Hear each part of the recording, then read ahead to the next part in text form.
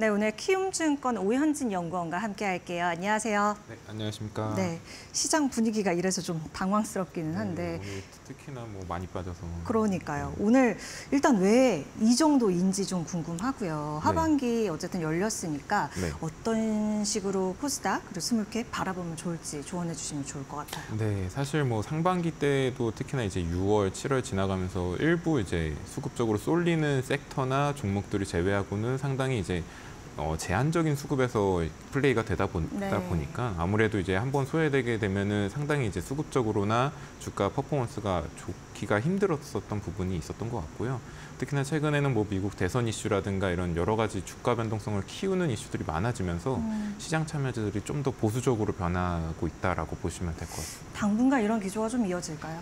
아무래도 이제 뭐 금리 인하라든가 이런 뭐, 뭐 수급적으로 뭐 긍정적으로 될 예, 변수들이 이슈가. 있지 않는 이상은 당분간은 이런 이슈가 좀 크, 어, 음. 작용하지 않을까라고 보고 있고 네. 그래서 일부 이렇게 소외돼 있, 소외되고 있는 섹터나 업종보다는 그래도 어느 정도 거래량이라든가 음. 관심도가 집중돼 있는 업체에 좀 더 집중하는 게 맞아 보일 걸로 보입니다. 네. 그런 관점으로 오늘 종목 얘기 조금 더 나눠보도록 하겠습니다. 오늘 i3 시스템 이것부터 살펴보도록 하겠습니다. 네. 어떤 사업 영위하고 있는지 좀 알려주세요. 네, i3 시스템은 본업 자체는 이제 센서 쪽인데 특히나 이제 뭐 다양한 센서들이 있겠지만은 적외선 센서 쪽에 네. 이제 특화된 담당해서 이제 센서를 납품하는 업체라고 보시면 될 것 같아요. 뒤에서 말씀드릴 수도 있겠지만은 아직까지는 뭐 민간 시장이라든가 이런 부분 진출 여부가 이제 크진 않아서 음. 아직은 방산업체가 주요 아. 고객사라고 보시면 거의 될것 같아요. 군수용 네네네, 맞습니다. 납품되나 보죠. 네, 그래서 어. 고객사 자체도 방산업체 뭐 이런 음. 쪽으로 해서 저희 뭐 무기 체제나 이런 쪽에 어, 센서로 달리는 적외선 센서들을 납품하는 회사다라고 봐주시면 될 음. 것 같습니다. 저 사실 군, 방산 이쪽 잘 몰라서 그럼 네네. 그 센서들이 방산 쪽에 어떻게 적용이 되고 있는 거예요? 어, 사실 어떻게 이- 활용되는지? 어, 네네. 저희가 뭐 미사일이라든가 무기 같은 거를 발사를 하게 되면은 저희 눈에 보이는 어, 아. 목표물뿐만 아니라 사실 어두운 야간이라든가 이런 데서도 정확한 목표물을 아, 탐지해야 네네. 되고 이런 부분이 필요한데 그럴 때는 사실 뭐 일부 다른 이제 어, 파장보다는 사실 적외선 영상 음. 센서를 통해서 그런 부분이 좀 더 정확히 확인이 되거든요. 그래서 그런 부분에서는 적외선 센서 탑재가 되게 필수적이다. 음. 그런데 이 기술 자체가 어렵다 보니까 사실 적외선 센서 관련된 칩을 만들 수 있는 회사 자체가 글로벌리 몇개 없어서 그렇군요. 이, 네, 이 오. 부분도 상당히 좀 기술적으로는 주목해 볼 만한 주- 어, 업체다라고 보시면 될 것 같습니다. 그 사업 내 거의 독점적인 기술 가지고 있는 업체 좀 좋아하시는 것 같아요. 네, 아무래도 그뭐 그런 부분 기술적 좀 혜자가 많이 있다 보니까 발굴하시는 것 같습니다. 네. 네. 어떤 업체들이랑 좀 면을 맺고 있어요? 음, 여기는? 그러다 보니까 이제 대표적으로 최근에 이제 수출이나 이런 쪽으로 호조세를 보이고 있는 뭐 LIG 넥선이라든가 음. 하나 시스템이라든가 이런 어떤 어, 전반적인 국내의 방산업체 중심으로 나가고 있고요. 그리고 여전히 뭐 해외 쪽 수출이라든가 아니면은 국내 민간 쪽 뭐 아직은 크게 시장이 열리지 않았지만 뭐 UAM, 드론 뭐 이런 음. 쪽으로도 충분히 필요한 어떤 센서 영역이거든요. 그래서 그런 부분에 대해서 고객사를 두루 갖추고 있다라고 보시면 돼요. 음, 그런데 이제 연구원이 리포트도 보고 좀 살펴보다 보니까 네, 이 센서 가격이 워낙 높아서 아무래도 당연히 그 맞습니다. 가격 맞추는 게 제일 어려울 부분이긴 한데요. 이게 네네. 해결해야 할 과제라든지 어떤 내용입니까? 음, 사실 그 적외선 센서 같은 경우는 크게 두 개로 나눌 수 있는데 냉각형 센서랑 비냉각형 센서로 나눌 수 있어요. 이름에서도 알 수 있듯이 냉각형 센서 같은 경우에는 냉각기가 달려서 어, 부품도 되게 크고요. 가격도 되게 비싼 네. 그 제품이거든요. 그러다 보니까 사실 큰 무기 같은 데에는 상대적으로 좀 자유롭게 탑재가 가능한데 음. 이게 말씀드렸듯이 드론이라든가 이런 뭐좀 민간 뭐 쪽으로 음. 확장해 나가려다 보면은 네. 크기도 줄여야 되고 가격도 줄여야 되다 음. 보니까 비냉각형 센서 관련해서 좀 제품들이 나와야 되거든요. 비냉각형 센서가 가격은 상대적으로 낮지만 어, 낮은 가격 내에서 어떤 퍼포먼스를 보이기 위해서는 아직 뭐 그 기술적으로 넘어야 될 산도 있고 음. 수율이나 이런 부분도 잡아야 될 부분이 있어서 그런 부분이 하나의 좀 해결 과제다라고 봐주시면 될 것 같습니다. 네. 우주 위성 분야 이쪽으로도 활용도가 높을 것으로 전망이 되더라고요. 네, 이게 사실 아직까지는 뭐 크게 저희가 뭐 가시적인 성과를 내고 있는 부분은 아니긴 해요. 근데 뭐 아까 말씀드린 것처럼 어, 뭐 드론 뭐 너, 나아가서 어디까지도 확장될 수 있냐라고 보게 되면은 사실 우주위성 분야에서도 당연히 필요로 하는 거고 이게 사실 적외선 센서 같은 게 아까 말씀드린 것처럼 군수 쪽의 영역이다 보니까 어, 해외 기술 수출 관련해서는 상당히 좀 제한적인 부분이 있거든요. 그래서 해외 어떤 센서를 가져오는 거나 이런 부분도 상당히 어, 가격적인 부분이나 이런 절차상 부, 그 분야에서 해결할 부분이 큰데 나중에 이제 국내에서도 이제 우주 관련된 사업을 확장해 나가기 위해서는 국내 업체, 특히나 이제 i3 시스템처럼 이제 기존 기술을 가지고 있는 업체가 어, 적외선 센서 같은 부분을 담당할 확률이 커서 그런 부분도 상당히 그리고 나아가서는 뭐 보고서에는 언급하지 않았지만 뭐 자율주행이라든가 이런 부분에서도 영역 확장은 상당히 기대될 수 있는 부분이다 보시면 될 것 같아요. 네.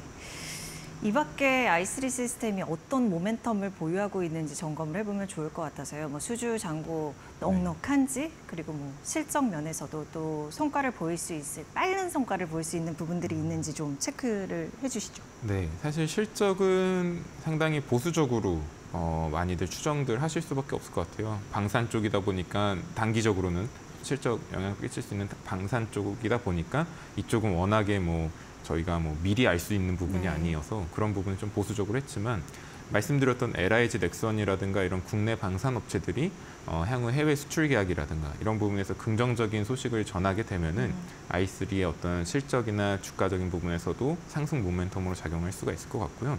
사실 시작할 때도 말씀드렸듯이 어, 최근에 어떤 단기적인 어떤 모멘텀이 있지 않은 이상은 사실 중소형 업체 접근이 상당히 음. 어려울 수 있다라고 했, 했었는데 i3 같은 경우에는 연초부터 기대를 모으고 있는 증설 모멘텀이 있어요. 증설이요. 네, 네. 어때 동안 어떻게 보면은 성장의 폭을 제한시켜 줬었던 게 이제 생산 능력 캐파였는데 음. 아마 올해 늦어도 하반기에는 어, 생산 능력을 생산 캐파를 증설하는 이제 뭐 그런 공식 어, 뭐 공시라든가 이런 부분을 기대할 수 있지 않을까 싶어요. 이 증설 자체가 어떻게 보면은 향후 미래의 어떤 수요를 어, 저희가 어느 정도는 가시성을 확보했다라고 볼 수 있기 때문에 증설 코멘트 자체가 어떻게 보면은 상승 탄력이 될 수 있지 않을까라고 보고 있습니다. 네, 하반기 이제 생산 능력 확대, 확보에 따른 어, 그러한 기대감들 또 소식들이 나오는지 한번 살펴보도록 하겠습니다. 첫 번째로 우리 i3 시스템 봤고요. 우리 다음으로는요, 슈프리마인데요. 네네. 이 퀄컴 효과가 본격화한다 이렇게 쓰셨더라고요. 네. 슈프리마를 처음 들어보시는 분들 위해서 간단히 말씀드리면 어, 저희가 뭐 빌딩이나 뭐 아니면 이런 데 건물 같은 데 출입할 때 네. 뭐 지문 인식이나 카드 찍고 들어가는 그 기기를 뭐 저희 사진에서도 나- 어, 나올 수 있는데 네, 저희 그- 준비해 드리려고요. 네네. 그렇게 봤었을 때 저희 사진에서 나오는 것처럼 저런 센서 솔루션 자체가 어, 슈프리마의 주력 제품이었거든요. 음, 근데 이제 퀄컴은 무슨 얘기냐라고 봤었을 때는 매출 비중은 작지만 수익성 측면에서 상당히 큰 부분을 차지하고 있는 것 중에 하나가 스마트폰 지문 인식 알고리즘 센서를 어, 퀄컴향으로 슈프리마가 납품을 하고 있었거든요. 아, 예, 예. 근데 이 부분 관련해서 5년 만에 단가 협상을 진행을 했고 음, 상당 부분 좀 기존 대비는 단가를 좀 높여서 2분기부터 아마 실적이 반영될 걸로 보고 있어요. 이게 아무래도 어 뭐 on-device AI의 어떤 뭐 진화 과정에서 이 지문 인식 알고리즘 같은 경우에도 요구되는 기술이나 이런 부분이 높아지다 보니까 음. 공급 단가가 높아진 걸로 예상을 하고 있고요. 이런 부분 때문에 2분기부터는 어, 수익성도 상당히 좋아질 걸로 기대를 모으고 있습니다. 이번 2분기 말씀하시는 거죠? 네네, 그럼 이번에. 이제 실적 나오면 조금 확인할 수 있는 부분들이 있겠네요. 네, 맞습니다. 음. 아마 2분기부터 3분기, 4분기가 다 전년 대비해서는 수익성 측면에서 훨씬 좋아지는 모습을 보일 걸로 보고 있습니다. 음, 영상 보안 M&A 이거는 어떤 얘기예요? 어, 사실 언론이나 이런 거 통해서도 슈프리마가 영상 보안 업체들이랑 다양한 협업이나 이런 부분을 보여준 그 기사나 이런 부분을 확인을 할 수가 있거든요. 이게 아무래도 슈프리마가 주력 매출 자체가 출입 통제 보안 솔루션이다 보니까 CCTV라든가 좀 큰 사이트, 뭐 어떤 대규모 대기업 공장이라든가 이런 쪽으로 출입 통제를 어, 솔루션을 납품할 때는 CCTV나 이런 영상 관제 관련한 솔루션도 같이 납품받기를 고객사들이 원했거든요. 그러다 보니까 슈프리마 입장에서도 이런 기술 자체를 내재화할 수요가 상당히 컸던 걸로 보고 있고 그런 부분 때문에 보유 현금도 넉넉했었던 슈프리마 같은 입장에서는 아마 올해 중으로는 영상 보안 관련 업체들을 어. 뭐 어, M&A나 인수를 통해서 어, 관련 기술력을 확보하지 않을까라고 좀 기대를 하고 있습니다. 슈프리마가 중동 쪽에서 굉장히 오래전부터 많이 PT하고 네, 맞습니다. 그래 네, 네. 왔었나 봐요. 네, 그래서 사실 주가가 상, 뭐 단기적으로 반응을 했었던 게 뭐 네옴시티 관련돼서는 이슈가 있거나 음. 이랬을 때 슈프리마 주가가 단기적으로 반, 뭐 반응을 많이 했었었거든요. 실제로도 아직 네옴시티 관련해서 공장을 뭐 본격적으로 짓거나 뭐 건설이 되고 있, 기 전부터 음.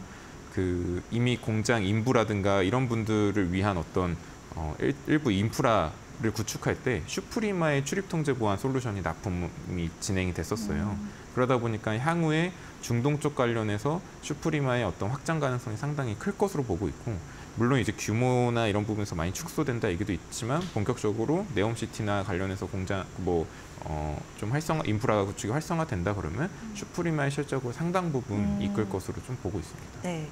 한번 지금 실적 예상하신 부분 어느 정도 되는지 들어볼 수 있을까요? 네, 2분기는 저기 저희 자막 나오듯이 한 영업이익 58억 정도를 전망을 했는데 말씀드린 퀄컴 효과의 어떤 적용 여부에 따라서 반영 여부에 따라서 수익성이 좀 더 좋아질 확률이 크고요. 이렇게 됐을 때는 영업이익을 올해로 봤을 때는 200억 이상도 충분히 try가 가능한 상황으로 보고 있거든요. 여전히 이제 뭐 천억대 뭐 그 시총인 점을 감안했을 때는 valuation 부담도 없고요. 영상 그 M&A 모멘텀도 있고 뭐 단기적인 실적 부담도 없어서 어, 상대적으로 상당히 좀 편안하게 볼 수 있는 중소형 주지 않을까 말씀드리고 있습니다. 네. 우리 마지막으로 지어소프트 살펴보겠습니다. 네. 자회사가 효자 노릇을 톡톡히 할 것으로 기대하고 있고 또 반영도 되고 있는 것 같습니다. 네, 맞습니다. 사실 지어소프트라고 하면 매출 IT 솔루션 업체이긴 하지만 매출의 95%가 말씀하셨던 오아시스라는 자회사가 담당을 하고 있어요. 저희 오아시스는 많이들 아실 텐데 뭐 퀄리나 이런 업체들처럼 새벽 배송, 특히나 뭐 신선 제품에 대한 새벽 배송 관련된 어, 강자로 보시면 될 것 같은데 네. 이 부분이 최근에 계속 그 1분기도 그렇고 2분기도 예상되는 실적으로 봤을 때는 최대 실적이 예상되는 게 사실 경쟁사들 예를 들어 대기업들도 사실 이런 새벽 배송이나 이런 부분에 많이 진출했다가 많은 업체들이 작년 재작년에 철수를 선언을 했거든요. 네. 그래서 경쟁이 오히려 최근에는 완화가 됐습니다. 음. 그래서 그런 부분에서 오아시스가 좀 성과를 내고 있고요. 다른 뭐 신선 제품 그 배송 업체들과 다르게 실적 수익성을 챙길 수 있었던 이유는 물류 시스템 관련해서 자동화를 많이 해놨습니다. 음. 그리고 실제로 제품 판매업자들과 직거래 비중이 남들보다 훨씬 뭐 경쟁 업체들보다 높기 때문에 상대적으로 수익성도 좋았어서 지오 소프트의 전반적인 실적을 지금 이끌고 있다 보시면 될것 음. 같습니다. 근데 오아시스가 11번가 인수 뭐 추진한다 이런 얘기도 있던데 이거 영향은 어떻게 보십니까? 어, 사실 관련된 뉴스가 나오고서는 다음날 이제 주가는 많이 빠졌었어요. 음. 이- 그도 그럴 게 어, 크게 봤었을 때는 자, 어, 지오소프트보다 훨씬 큰 규모의 업체를 어, 인수하다 보니까 좋은 흐름으로 볼 수 있지 않을까라고 봤지만 어, 사실 지오소프트 보유 현금이나 이런 점을 봤을 때는 이제 사- 어느 정도는 현금으로는 커버할 수 있는 이상의 영역이다 보니까 뭐 지분 수합이나 이런 부분 어, 뭐 논의되고 있다 이런 기사가 나왔었거든요. 그래서 그런 부분이 어, 시장에는 좀 부정적으로 작용을 했던 것 같은데 사실 지금 공식적인 입장 자체는 어, 진행되는 데는 상당히 뭐 시일이 걸릴 수도 있고 이게 진행이 뭐 어느 정도 진행이 됐고 뭐, 그 인수 관련해서 뭐 진행이 됐거나 뭐 이런 부분은 아닌 걸로 알고 있거든요. 그래서 사실 11번가 인수 관련해서는 조금 더 지켜볼 필요가 있다라고 보고 있습니다. 가장 가까이에서 얘기를 아실 수 있는 분이기 때문에 여쭤봤습니다. 오늘 세기업 얘기 오현진 연구원과 함께했습니다. 고맙습니다. 네, 감사합니다.